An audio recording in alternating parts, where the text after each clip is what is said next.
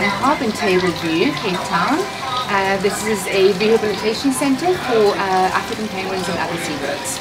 Uh, today is the 25th of April and uh, all over the world uh, people are celebrating uh, Penguin Awareness Day. It's, it's really, really huge. Um, it's something that we look forward to because we can really just celebrate the species and um, create awareness around the threats facing them.